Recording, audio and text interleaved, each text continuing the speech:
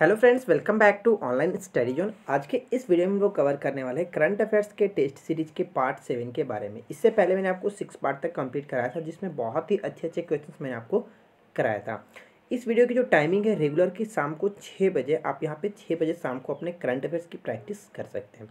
जिसमें हम लोग पिछले जो मंथ बीत चुके हैं, उनमें से जितने भी इंपॉर्टेंट जो करंट अफेयर्स होते हैं, आपके पेपर में पूछे जाने की चांसेस हैं, वो मैं यहाँ पे आपको कराता हूँ, ताकि आपको करंट अफेयर्स में कोई दिक्कत ना हो।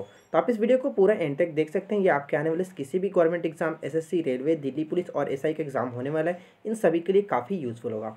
वीडियो अगर आपको अच्छी लगे तो वीडियो को लाइक एंड शेयर ज़रूर कीजिएगा फ्रेंड्स चैनल पर पहली बार आए तो चैनल को सब्सक्राइब करके नोटिफिकेशन बिल को ऑन कर सकते हैं ताकि आपको प्रॉपर अपडेट्स मिलते रहे। तो चलिए स्टार्ट करते हैं और आज करके एक एक क्वेश्चन देख लेते हैं। देखिए फ़र्स्ट क्वेश्चन क्या है कि अबू धाबी में आयोजित special Olympics world games two thousand में भारत ने कितने स्वर्ण पदक जीते हैं? तो देखिए फ्रेंड सबसे पहले इस क्वेश्चन से आपको एक चीज़ याद रखना है कि स्पेशल ओलंपिक्स 2019 जो खेला गया, वो कहाँ खेला गया? तो अबू धाबी में खेला गया, ठीक है? तो इसमें भारत ने कुल कितने पदक जीते जो चौवालीस पदक जीते तो यहाँ पे ऑप्शन जो डी होगा, बिल्कुल करेक्ट होगा, ठीक है फ्रेंड्स नेक्स्ट क्वेश्चन देखिए क्या बनता है कि दुनिया के खुशहाल देशों की रैंकिंग में भारत सात पैदा नीचे खिसक कर कौन से स्थान पर पहुँच गया तो सबसे पहले आपको पता होना चाहिए कि पहले 2018 में कौन सी रैंकिंग थी? और 2019 में कौन सी रैंकिंग हो गई है? तो मैं आपको एक एक करके यहाँ पे बताता हूँ। देखिए 2018 में अगर बात करें कि वर्ल्ड हैप्पीनेस इंडेक्स में भारत की जो रैंकिंग थी, वो 133 थी।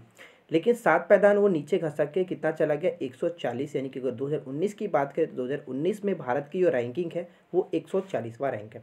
ठीक है? और ये काफ़ी इंपॉर्टेंट क्वेश्चन है तो आप इसको ध्यान रखिएगा। ऑप्शन सी यहाँ पे राइट होगा। अगर पूछ ले कि फ़र्स्ट रैंक किसको मिला है तो फ़र्स्ट रैंक फिनलैंड को मिला है। ठीक है फ्रेंड्स फिनलैंड को। और सबसे लास्ट रैंक किसको है? तो सबसे लास्ट रैंक सीरिया को है, ठीक है? सीरिया सबसे कम खुशहाल देशों की रैंकिंग में सबसे ऊपर में, यानी कि सबसे लास्ट वाला रैंक सीरिया का ठीक है? थर्ड क्वेश्चन देखिए क्या है कि बेहतर कनेक्टिविटी प्रदान करने के लिए नोकिया जो कंपनी है और किस कंपनी ने पहला स्मार्ट पोल ठीक है? स्मार्ट पोल लॉन्च करने की घोषणा की है। तो स्मार्ट पोल लॉन्च करने की घोषणा नोकिया ने किस देश किसके साथ मिलकर के की है? तो बीएसएनएल के साथ मिलकर के की है, ठीक है फ्रेंड्स अभी हाल ही में क्वेश्चन बना था कि बीएसएनएल के अभी एमडी और अध्यक्ष के रूप में किसने पदभार संभाला? तो पी के पुरवार आप ये भी ध्यान रखिएगा, ठीक है फ्रेंड्स पी के पुरवार ने स्थान ग्रहण किया है एमडी और अध्यक्ष के रूप में, ठीक है? और इसका गठन कब हुआ था? तो इसका गठन 2002 में किया गया था। ये काफ़ी इंपॉर्टेंट है, आप इसको ध्यान में रखिएगा। चलिए नेक्स्ट पॉइंट देखते हैं। देखिए, अगला पॉइंट हमारा क्या बनता है कि भारत और किस देश के बीच बारहवा संयुक्त सैन्य अभ्यास, यानी कि इसका नाम है बोल्ड कुरुक्षेत्र 2019 ग्यारह अप्रैल को संपन्न हुआ। यानी कि जो बोल्ड कुरुक्षेत्र जो होता है, ये किस देश के साथ होता है? भारत का एक सैन्य अभ्यास है। तो देखिए, बोल्ड कुरुक्षेत्र होता है ये सिंगापुर के साथ। तो ऑप्शन यहाँ पे जो सी होगा, बिल्कुल करेक्ट होगा। ठीक है फ्रेंड्स तो उम्मीद करूँगा कि यहाँ तक आपको कोई दिक्कत नहीं होगी। अगर आप लोग को ये वीडियो अच्छी लग रही हो तो इस वीडियो को ज़रूर लाइक करना और अपने फ्रेंड के साथ भी इस वीडियो को शेयर करना। अगर आपने चैनल को अभी तक सब्सक्राइब नहीं किया तो चैनल को ज़रूर सब्सक्राइब कर लेके यहाँ, क्योंकि यहाँ पे मैं आपको इसी तरह की रोज़ाना वीडियो अपलोड करता रहता हूँ। सुबह दस बजे हम लोग क्या करते हैं कि हम लोग एक जीके या फिर जीएस के क्वेश्चन यहाँ पर मैं पिक करता हूँ रेगुलर अपलोड अपलोड करता हूँ एक वीडियो। और यहाँ शाम को मैं छः बजे एक क्लास ले रहा हूँ, जो कि ये करंट अफेयर्स का है। तो इन दोनों क्लास को आप ज़रूर रेगुलर देखा कीजिए, ताकि आपको बहुत ही अच्छी नॉलेज मिल सके। देखिए, अगर बात करें नेक्स्ट क्वेश्चन की तो हाल ही में गूगल ने अपनी पहली ड्रोन डिलीवरी सेवा कहाँ शुरू की है? तो गूगल ने पहली ड्रोन डिलीवरी जो सेवा स्टार्ट की, वो ऑस्ट्रेलिया में स्टार्ट किया ठीक है? ऑप्शन यहाँ पे ए जो बिल्कुल करेक्ट होगा। अब यहाँ पे मैं आपको क्वेश्चन पूछता हूँ जिसका आंसर आपको नीचे कमेंट बॉक्स में बताना है, ठीक है? ऑस्ट्रेलिया की राजधानी क्या है? यानी कि इसका कैपिटल क्या है आपको बताना करेंसी साथ में बताना है, और यहाँ के वर्तमान में प्राइम मिनिस्टर कौन है, ठीक है? यानी कि यहाँ के प्रधानमंत्री कौन है? तो इन तीनों चीज़ों को आपको नीचे कमेंट में बताना है। तो देखते हैं कितने लोग इसका राइट आंसर करते हैं। देखिए नेक्स्ट क्वेश्चन क्या है? Doctor Kalam Smriti international excellence award 2019 किसे प्रदान किया गया? तो फ्रेंड्स, इसका राइट आंसर होगा ऑप्शन नंबर डी यानी कि बांग्लादेश की जो प्रधानमंत्री हैं, शेख हसीना जी को ये पुरस्कार मिला है doctor Kalam Smriti international excellence award 2019 Sheikh Hasina को मिला है। ठीक है? काफ़ी अच्छा क्वेश्चन है तो आपको ध्यान में रखना है। देखिए, अगला क्वेश्चन क्या है कि अड़तीसवें शारजाह अंतर्राष्ट्रीय पुस्तक मेले की थीम क्या थी? ये आपको बताना है। तो बात करें इसके राइट आंसर का तो देखिए इसका राइट आंसर होगा ऑप्शन नंबर सी यानी कि किताब, किताबें खोलो, दिमाग खोलो, ठीक है? ये इसका थीम था तो ये काफ़ी इंपॉर्टेंट है, इसको आप ध्यान में रखिएगा। ठीक है फ्रेंड्स एक चीज़ मैं आपको और बता दूँ कि अगर बात करें 2019 की अगर पुस्तक राजधानी के रूप में किससे घोषित किया गया तो देखिए 2019 में जो यूनेस्को है किसे पुस्तक राजधानी घोषित किया तो शारजाह को ठीक है? शारजाह को पुस्तक राजधानी के रूप में घोषित किया तो ये भी आपको याद रखना है। ठीक है? चलिए नेक्स्ट पॉइंट देखते हैं। अगला पॉइंट देखिए क्या बनता है कि हाल ही में सुर्खियों में रहा, कोड़िया कराई जो वन्यजीव अभ्यारण्य है, वो किस राज्य में स्थित है? तो कोड़िया कराई वन्यजीव अभ्यारण्य है, ये तमिलनाडु में, ठीक है? नाम से लग रहा है कि ये साउथ का होगा तो साउथ में आपको ध्यान से देना होगा, यहाँ पे तमिलनाडु होगा, ठीक है? ऑप्शन बी बिल्कुल करेक्ट होगा। अच्छा ये सुर्खियों में क्यों रहा था, ये भी आपको जानना ज़रूरी है। तो देखिए, यहाँ पे चर्चा ये चल रहा है कि हिरण के जो जनसंख्या उनके पुनर्वास के लिए प्रयास किए जा रहे हैं।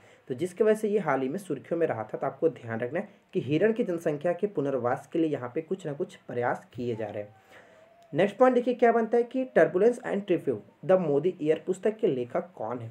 ठीक है, टर्बुलेंस एंड ट्रिम्फ, द पुस्तक के लेखक कौन है? ट्राइम्फ। तो बात करें इसके राइट आंसर का तो देखिए इसका राइट आंसर होगा ऑप्शन नंबर डी, यानी कि राहुल अग्रवाल।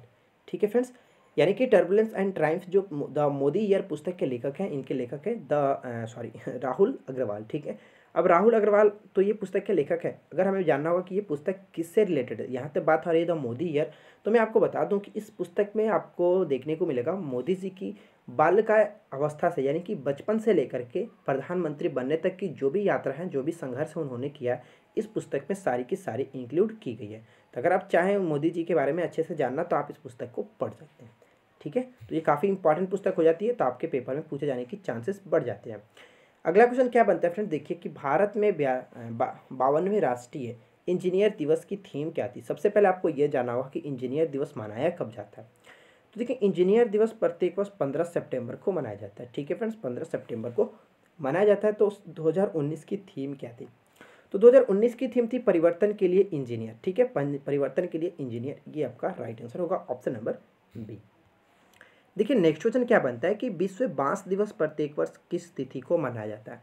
तो फ्रेंड्स देखिए, विश्व बाँस दिवस मनाया जाता है अट्ठारह सितंबर को, ठीक है? अट्ठारह सितंबर को विश्व बाँस दिवस के रूप में मनाया जाता है। तो ये भी काफ़ी अच्छा क्वेश्चन आप इसको ध्यान में रखिएगा। देखिए, अगला क्वेश्चन क्या है कि 2019 में ऑस्कर के लिए मनोनीत भारतीय डॉक्यूमेंट्री फ़िल्म जिसका नाम है मोती बाग, के निर्देशक कौन है? तो सबसे पहले आपको ये बता दूँ कि जो मोती बाग है, ये किस पे आधारित फ़िल्म है? तो देखिए, मोती बाग जो है, ये उत्तराखंड के एक तिरासी वर्षीय एक किसान है, जिनका नाम है विद्या दत्त। ये भी आपको याद रखना है, ठीक है फ्रेंड्स? विद्या दत्त। तो ये आप याद रखिएगा, विद्या दत्त, ठीक है? विद्या दत्त जो है, विद्या दत्त, इनके नाम पर ये, इनके नाम पर ये ये आपका फ़िल्म बना है मोदी बाग। इसको 2019 में ऑस्कर के लिए नामित किया गया था। तो ये कहाँ पे बिलोंग करते हैं? ये उत्तराखंड से बिलोंग करते हैं, ये भी आपको याद रखना फ्रेंड्स। अगर बात करें इसके निर्देशक कौन थे तो ऑप्शन सी राइट होगा, निर्मल चंद्र, ठीक है? निर्मल चंद्र इस जो कि डॉक्यूमेंट्री फ़िल्म के निर्देश किए थे। अगला क्वेश्चन क्या देखिए? दक्षिण एशिया के सबसे ऊँचे टावर का अनावरण किस देश में किया गया? तो दक्षिण एशिया के सबसे ऊँचे टावर का अनावरण किया गया है श्रीलंका में, ठीक है? श्रीलंका की जो राजधानी है कोलंबो में किया गया। और इसकी जो बात करें कि इस टावर का नाम क्या है तो इस टावर का नाम है लोटस टावर, ठीक है फ्रेंड्स? Lotus tower. तो ये भी आपको याद रखना है, लोटस टावर का अनावरण कहाँ किया गया? तो श्रीलंका में किया गया, अगर बात करें इसकी हाइट की तो इसका हाइट जो है वो तीन सौ छप्पन मीटर के करीब बताया जा रहा है, ठीक है? तीन सौ छप्पन मीटर। तो इन दोनों चीज़ों को आपको याद रखना है। बात करें नेक्स्ट क्वेश्चन की तो देखिए नेक्स्ट क्वेश्चन क्या है कि किस राज्य ने Mukhyamantri Sewa Sankalp helpline eleven double zero launch किया, यानी कि ग्यारह सौ लॉन्च किया तो हेल्पलाइन ये नंबर है ग्यारह सौ, किसने के द्वारा लॉन्च किया गया? तो ये हिमाचल प्रदेश की सरकार के द्वारा लॉन्च किया गया। क्लियर फ्रेंड्स नेक्स्ट पॉइंट देखिए, क्या बनता है?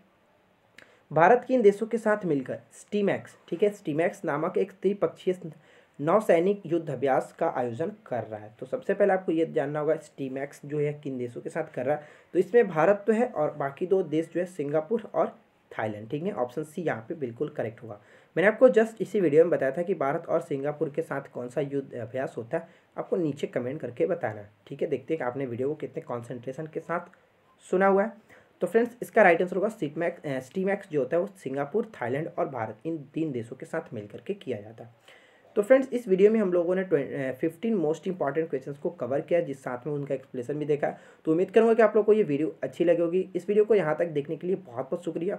अगर आप लोग को वीडियो पसंद आई हो तो वीडियो को लाइक शेयर करो ज़रूर करना। और चैनल पर अगर आपने अभी तक सब्सक्राइब नहीं कर रखा है तो चैनल को सब्सक्राइब करके नोटिफिकेशन बिल को ऑन कर लीजिए, ताकि रेगुलर आप इसी तरह की करंट अफेयर्स की प्रैक्टिस कर पाएँ।